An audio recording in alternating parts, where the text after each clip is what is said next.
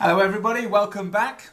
As you can see here in my hand I've got a fairly complex Turk's head here and this is a, an 8 bight 1, 2, 3, 4, 5, 6, 7, 8 bight Turk's head and today's exercise is not actually the making of the Turk's head itself but it's actually when you say for example you go onto the internet and you look for say for example how to make a so many bight Turk's head sometimes you go to a website and you end up with something like this or this or this. And you go what the hell was that? Okay? And so what I'm going to do to you for you today is just explain to you what these letters and numbers mean or what these arrows and numbers mean and then the OU, OU, etc etc that's written on there. But what I've done is at the end of this video I have put a link to this particular piece of paper that I've got here that I've done up for you um, to make an 8 bight Turk's head. But what I'm going to introduce you to today here is the Turk's head tool. Right, let me point some things out with regards to this tool. This tool itself will make this Turk's head. Now the first thing you'll notice is that it is flat. It's just a board. And basically, if you think about the Turk's head, it's round here, but as soon as we flatten it like so, we can actually make it on our board. So basically, this is a cylinder flattened. Okay, and the other thing you'll notice on our board here is the following. The first thing is we've got a hole just at that corner there. See, there's a hole in there and that is to lock off our cord when we are first starting.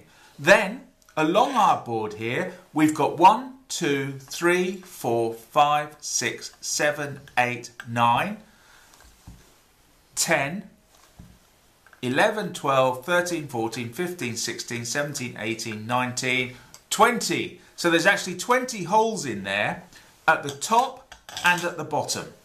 And what we can do is, in these holes, we can put our grub screws, basically known as grub screws, but you can use wooden pins, metal pins, depends what you make your tool from. And you screw your pins in, and the number of pins you have at the top and the bottom determines the amount of bights that we are going to create for our Turk's head.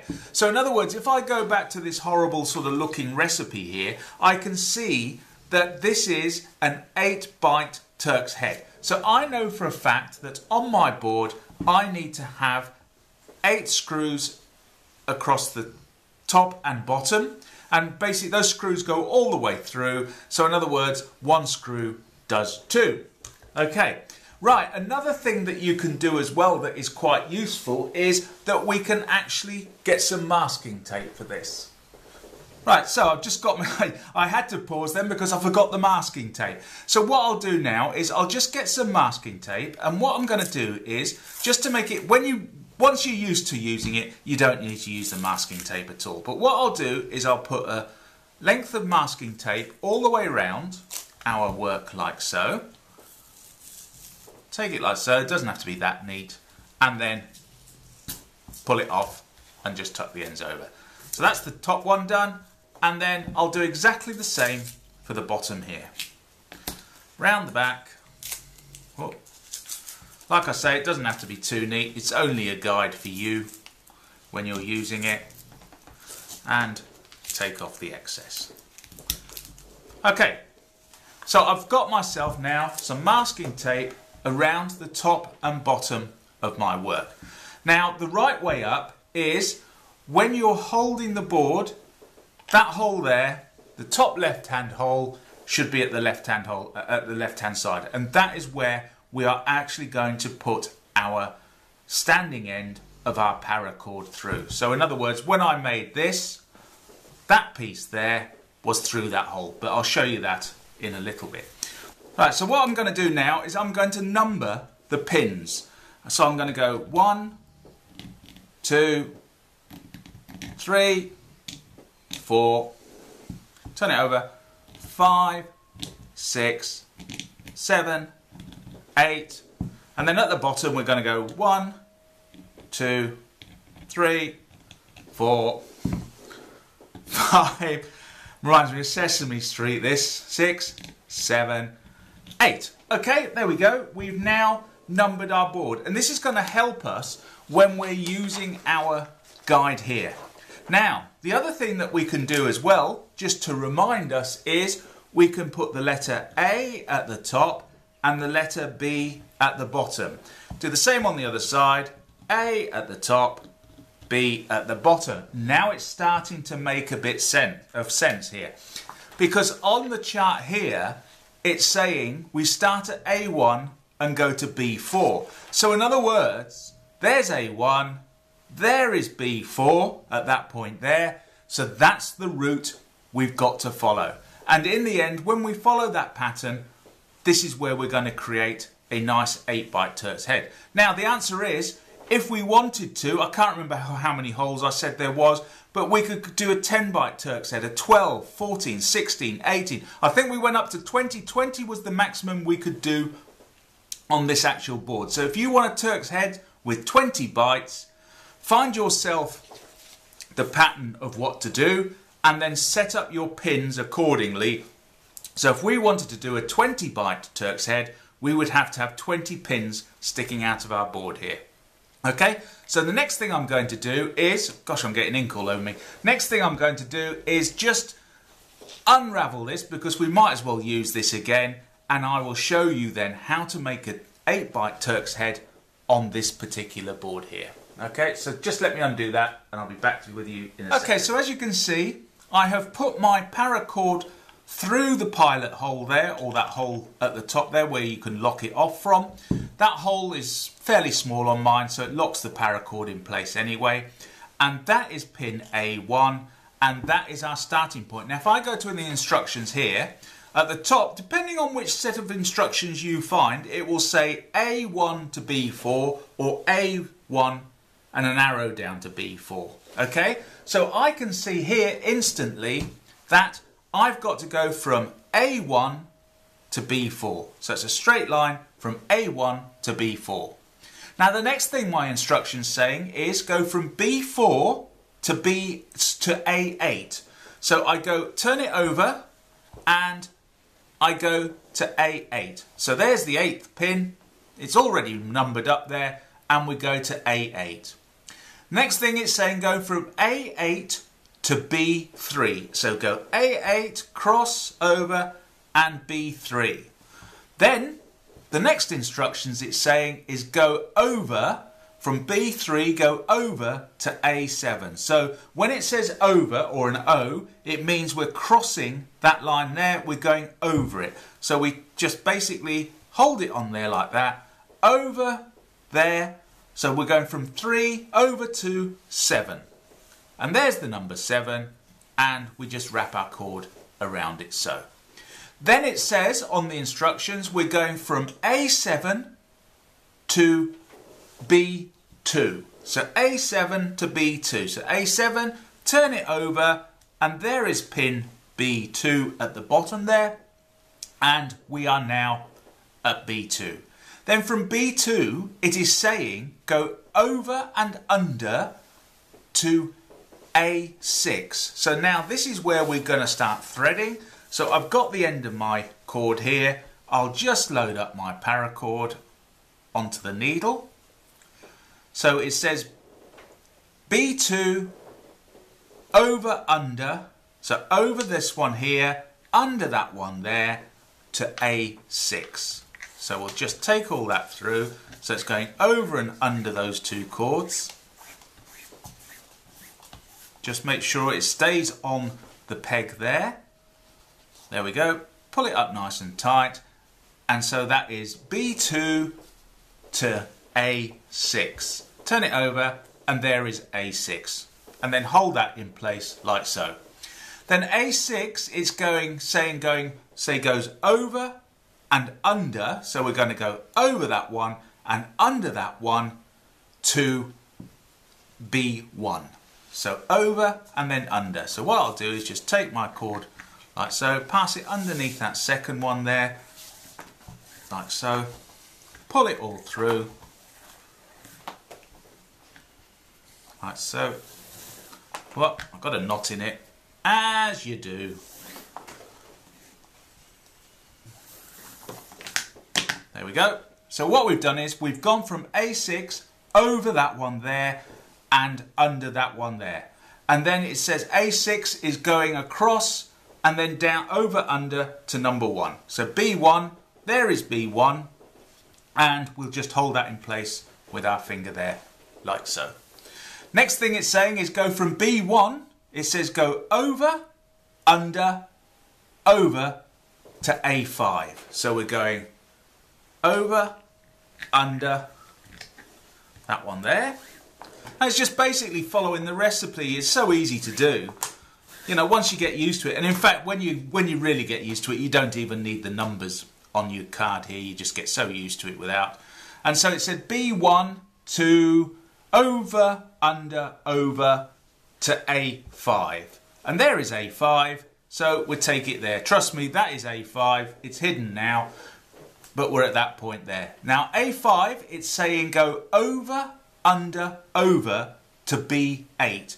So we're going to go over that one there, under that one there, and over that one there. So I'll just get my cord, go under, over, take it out the way,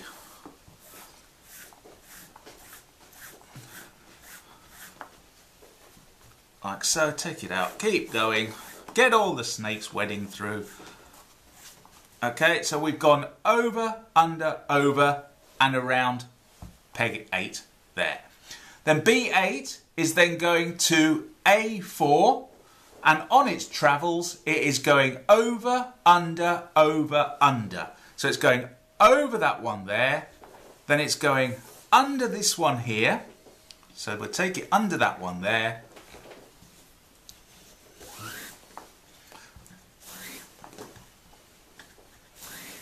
So keep pulling it through, blah, blah, blah, blah, blah.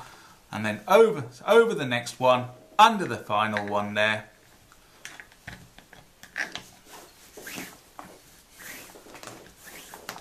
And don't forget, Turk's heads are hungry for cord.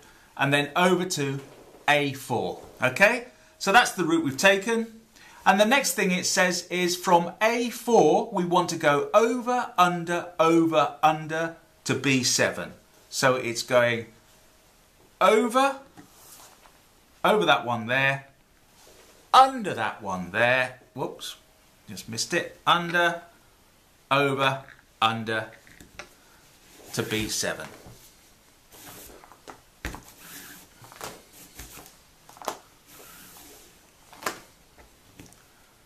Okay, and then there we are, we're at B7 now, and then B7, it's saying over, under, over. See, a lot of overs and unders now. We're getting more and more overs and unders. So basically, we start off, it's going over one, under one. And we're aiming for A3. So it's gone under, over, under, then over, to A3. So under, like so. Hold it all in place. And then over to A3. And now we're at A3 now.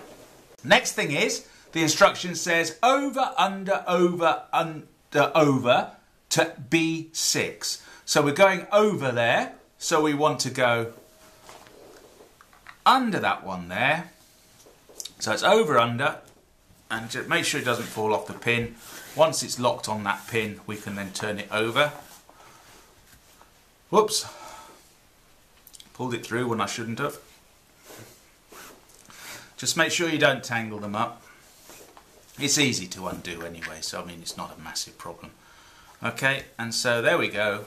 And then we're going round the other side and where are we aiming for? We've started at 3, so 3 is aiming for 6. So we've just gone under, we then go over that one, under that one, over that one, round to pin 6. So under, over, under, and over to pin 6. Okay.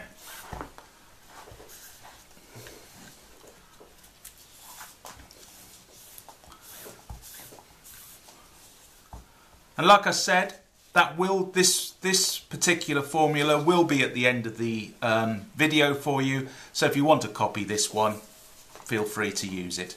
Okay, so we've now gone to B6.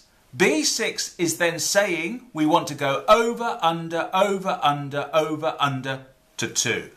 So we're going over, and basically if you get slightly lost, if you look at the one next to it, you want to do the opposite of what that's doing. Because it's a Turk's head, it's usually the opposite of what the one next to it's doing. So we pull that through, so we're going under that one,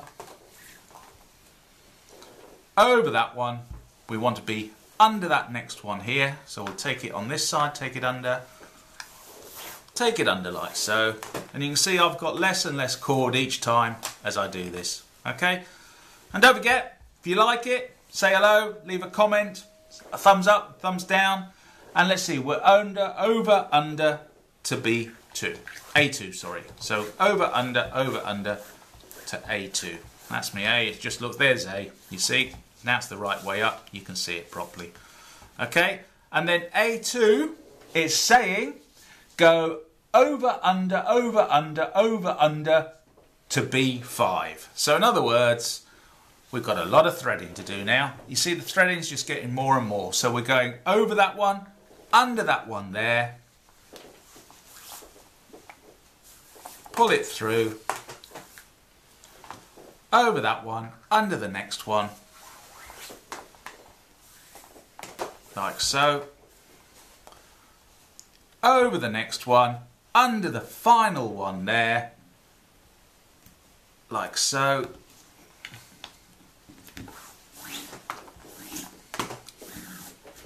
Look, and a good knot's appeared. Under there, round pin B5. So there we are, we're at pin B5.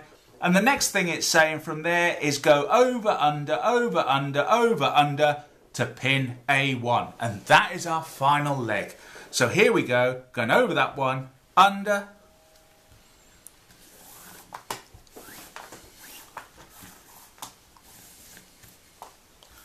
There we go, pull that through. Take it to the next one. So we're going over one, then under one. So basically you see there's two going over here. So we want to go the opposite. There's two going under here. We're doing the opposite. We're going over this one, under that one. It's not too difficult. Once you get a few of these um, paper templates or whatever it is, like uh, maps, I suppose they're maps, aren't they? Um, it's very easy to follow them and make your own Turk's head. So we've gone over that one. We're now going underneath this one here. Take it underneath and then, all going well, there we are. We are now back at pin 1. Okay? And so now that we are at pin A1 there, the next thing that we can do is, this is what I like to do, is personally, I like to go follow that lead there, just under and over, just through those two there, like so.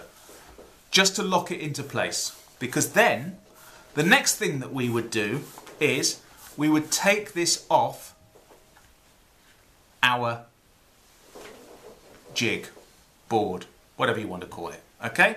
So now, we have now, this is a Turk's head. It's a flat Turk's head at the moment, but we have now tied an 8 bight Turk's head on this um, particular board. And so the next thing we can do is, all you need to do is just lift the bights off the pins that are holding it. So there you go.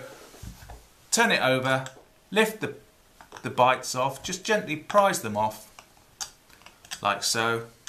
And now it's all loosening up.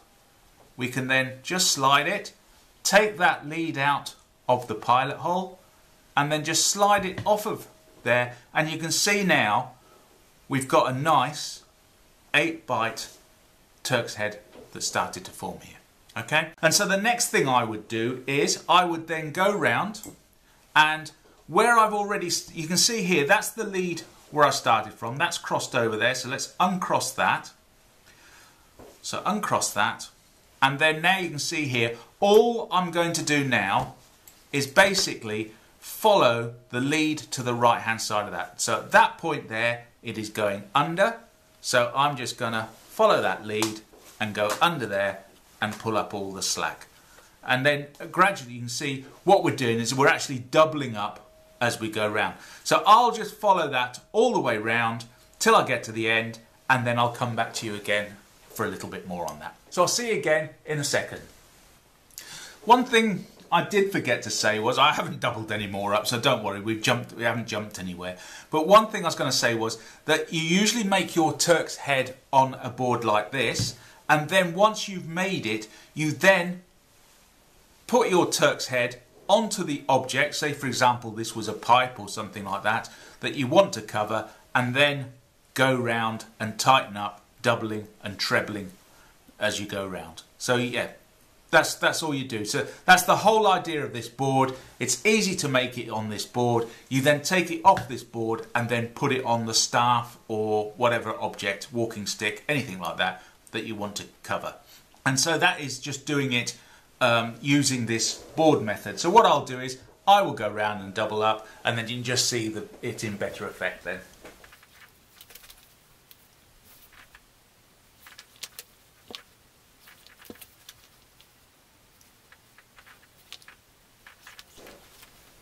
Right, so as you can see, I've done two passes here now, and it's turning out to be a nice 8-bight Turk's head. I can, if I want to now, take my needle round and go round for a third pass. So in other words, all the way round, we would have three rows. But as you can see, it is a rather lovely little Turk's head and you can shake this around, throw it about now, it will hold its shape.